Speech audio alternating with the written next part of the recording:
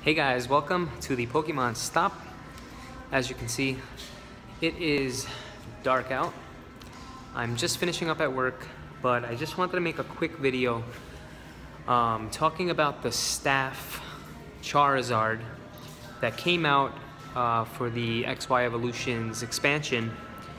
Um, little brief history, the staff Charizard was pretty much a promotional pre-release card that was only given to uh, store owners that were hosting um, the pre-release events for the XY Evolutions set. And uh, there were approximately 1,000 or so printed. And the crazy thing about it is that's that's one of the crazy, unpredictable parts of the Pokemon market, um, especially when it comes to graded cards. So, for example, about six months ago, little over six months ago when the card actually came out, you could have purchased one for three, four hundred dollars. Um, a PSA 10 was going for around 650 to about 700 bucks. And I remember saying to myself, oh, I need to get one of those. And then I said, oh, it's pretty new. Um, it just came out. Uh, the price will probably remain the same for quite some time, at least a year, if not more.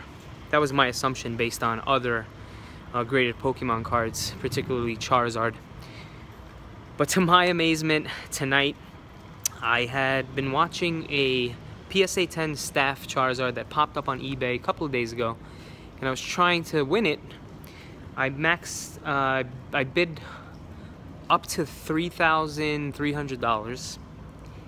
And to my surprise, I just checked my notifications and I lost that auction. It sold for $3,650.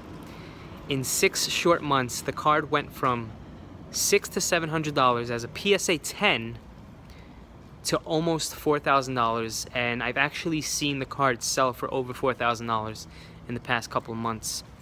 Um, I honestly think that this is gonna be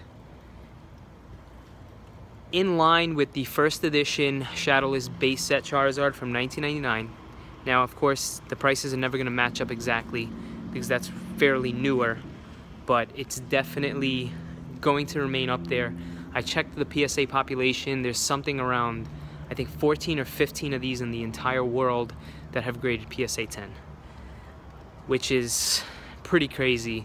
And I don't think there's going to be very many more in the future. So if you have a PSA 10 staff Charizard from XY Evolutions, hold on to that because that may be the very 15, very same 15 to $16,000 card as you see the first edition base set Charizard selling for now.